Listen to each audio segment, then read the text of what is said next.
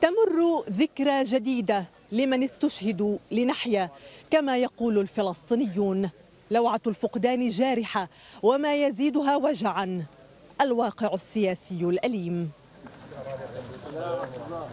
زيارة تقليدية تتكرر منذ 21 عاما لأضرحة 13 شهيدا سقطوا مطلع الانتفاضة الثانية في البلدات الفلسطينية في الأراضي المحتلة عام 48 تتزامن هذا العام مع تسجيل 100 ضحية للجريمة المتفشية.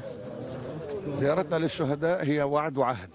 هي وفاء للشهداء وهي عهد لمواصلة الطريق لأن الطريق ما زالت طويلة أمامنا. صحيح أن الوضع أسوأ والجريمة التي تستفحل في مجتمعنا الفلسطيني في الداخل هي قضية سياسية من الطراز الأول لأن هذه الجريمة تحظى بتشجيع وتسليح وحصانة المؤسسة الإسرائيلية. أنا كولد صغير كنت لما استشهد أخوي في يعني عام 2000 بعتقد إنه اليوم علينا مسؤولية أكبر من قبل في يعني استمرار هذا النضال. وأحداث أيار الأخيرة هي كانت دليل صارخ وصادم للكل.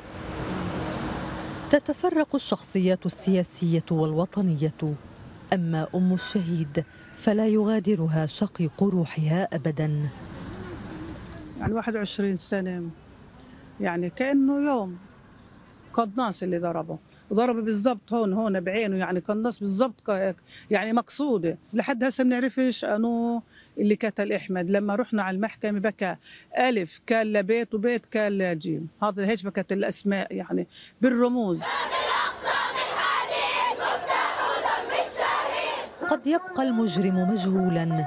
لكن ملامح الضحية تحفر في وعي الأجيال الفلسطينية على أنها ضحية للاحتلال. إحياء ذكرى الانتفاضة الثانية وشهدائها اختتمت بمسيرة سنوية نظمتها لجنة المتابعة العليا في مدينة سخنين في الجليل. هناء محميد الجليل الميادين.